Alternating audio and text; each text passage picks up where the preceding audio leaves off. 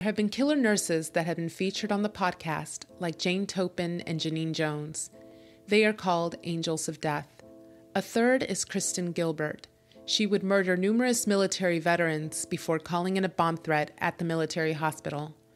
Even now, criminal profilers are studying her to understand why she did what she did, being that she seems to have had a normal upbringing without any traumatic experiences.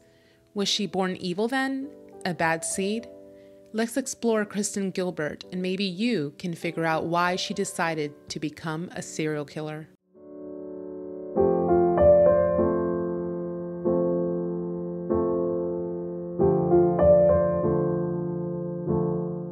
On November 15, 1967, in Falls River, Massachusetts, Kristen Heather Strickland was born to Richard Strickland, who was a U.S. Coast Guard, and Claudia Strickland. Her father, Richard, would leave the U.S. Coast Guard and settle into a career as an electronics engineer. Claudia worked as a substitute teacher. When Kristen was seven years old, her sister Tara was born. This caused Kristen to start spending more time with her grandmother. Kristen was known as a pathological liar by her friends and neighbors. She once told people that she was a distant relative of Lizzie Borden, who is known for murdering her father and stepmother with an axe. Lizzie was also from Falls River, so this might be why Kristen used her in her lies. She also lied about her parents. Kristen told some friends that her mother was a drunk who beat her. One friend, Pamela Smethurst, told a newspaper that people found Kristen strange. She told them about a time that they were watching General Hospital. We used to sit and watch General Hospital, and this sounds freaky and almost made up now. But there was this one character in the show who was this evil nurse. And I remember Kristen said, I like Amy. And I said, Oh my God, why would you like Amy? And she said, I just like Amy. Ex boyfriend said she was verbally and physically abusive towards them. Kristen would threaten them to commit suicide.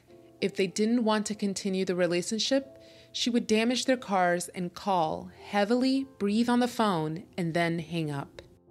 Kristen was smart and even graduated high school a year and a half earlier than expected and started a pre med program in her state college, Bridgewater State College. Kristen also got a job as a home health aide with the Nurses Association. She was accused of scalding a disabled child with hot water that resulted in 60% burns all over his body. Even after doing this, Kristen was not prosecuted. She would meet her future husband, Glenn Gilbert, in 1986, and by 1987 she had transferred colleges to be near him. A year later, in 1988, Kristen and Glenn got married. Kristen was similar to Katherine Knight, who was featured in a previous podcast episode. They both were emotionally and physically abusive towards the men they were in relationships with, even their husbands. A month after Kristen married Glenn, she almost killed him when she chased him around the house with a knife after an argument. Glenn was able to lock himself in a room and wait it out.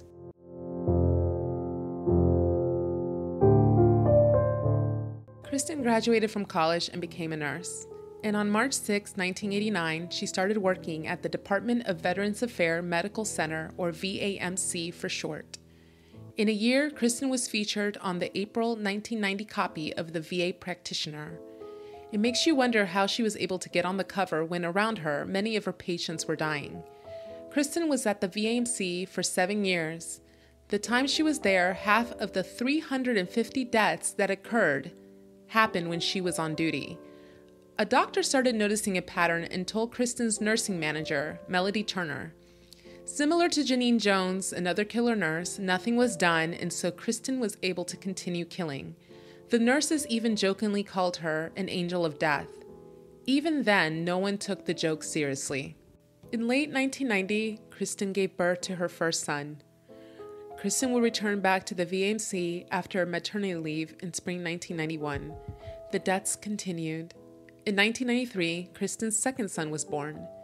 By 1995, Kristen and Glenn's marriage started deteriorating and they were constantly arguing.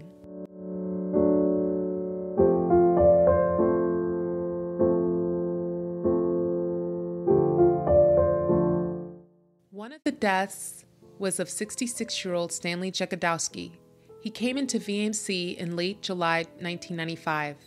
Everything seemed fine until Kristen came on duty. a nurse saw Kristen go into Stanley's room with a syringe. His medication were all pills, so the nurse found that weird. The nurse then heard Stanley exclaim, Ow, it hurts, you're killing me. A few minutes later, Stanley was going into cardiac arrest and passed away. It was also in the summer of 1995 when Kristen became friendly with a police officer at the VMC named James Perrault. By the fall, the two were having an affair. We have to remember that Kristen was still married to Glenn Gilbert. Kristen started cooking more and more, and Glenn started saying the food was tasting funny. Investigators suspect that she was poisoning her husband. In November 1995, Glenn got really sick and had to be rushed to the emergency room. He recovered. Later, Kristen took out two syringes and told Glenn that she was going to flush his vein out to draw blood. She's a nurse and his wife, so Glenn wasn't suspicious. When the syringe went in, Glenn felt cold. He tried to pull away, but she pinned him against the wall with her hip, and he passed out. When he came to, Glenn heard Kristen say, This is not going to work. Again got lucky. James Perrault gave Kristen an ultimatum it's either me or your husband. This caused Kristen to ask for the divorce. Glenn would escape with his life. On December 8, 1995, veteran Henry Hudon came into the VMC. He had taken 50 pills and drank a 12 pack of beer. When his family was leaving him at the ER to be monitored, his sister remembered Henry screaming, You can't leave me here. You can't leave me in this building. People are dying around here for no reason. Kristen came on duty, and Henry would never leave the hospital.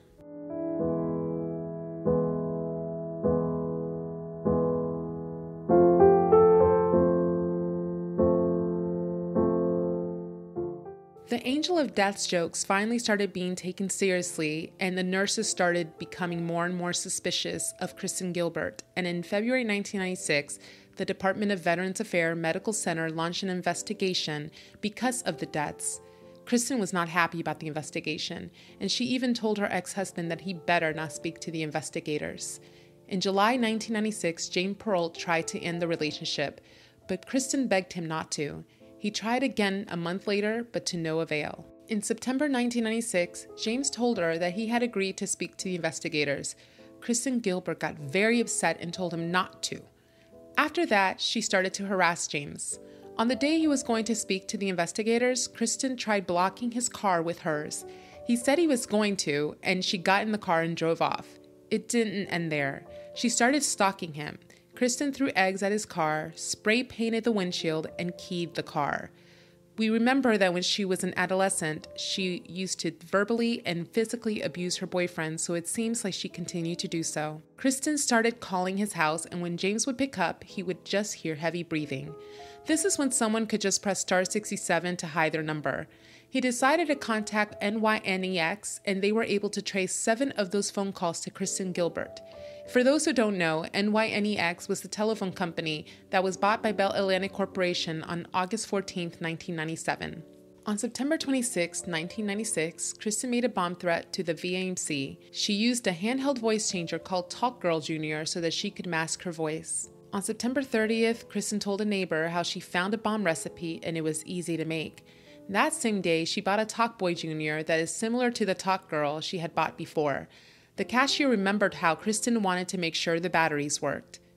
Kristen called James Perrault with the Talkboy Jr. and said, Officer Perrault, I've been watching you, boy. On October 1st, 1996, a search warrant led police to search Kristen's apartment. The police seized batteries in the Talkboy Jr., and they also found a newspaper article about the bomb threat. Her attempts to stop the investigation on the murders and try to hide the fact that she was making the bomb threat didn't work. She was found guilty for the bomb threat and sentenced to 15 months in prison and three years of supervised release. Before calling in the bomb threat, she called her ex husband using the Talk Girl Jr., and on Glenn's answer machine, she left the following message I just wanted to say goodbye for the last time. Goodbye.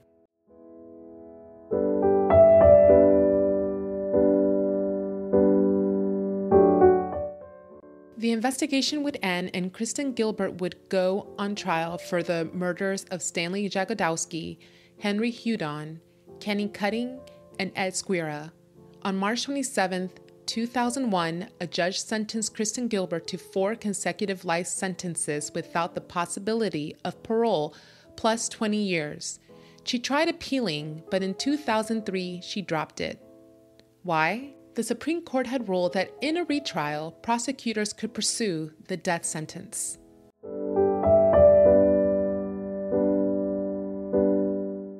Kristen Gilbert was only charged with four deaths, but it's obvious that she killed many more.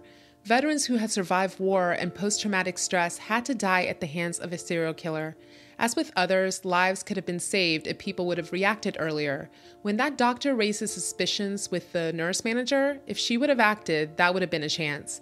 If instead of making fun of the many deaths happening on her watch, the nurses would have acted, then maybe that would have been another chance. However, we have to remember that people never think horrid actions like Kristen Gilbert's can happen around them. So maybe that's why they laughed it off. She isn't like other female killers who had traumatic childhoods, so it is interesting that Kristen became the killer nurse that she became. At least she is spending the rest of her life in prison in Texas. Actually, four life sentences.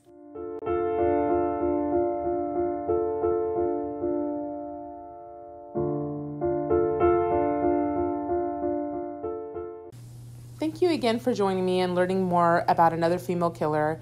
Please subscribe if you haven't done so already and hit the notification bell so you'll be notified whenever I post a new video. Thank you again, and I'll talk to you next week.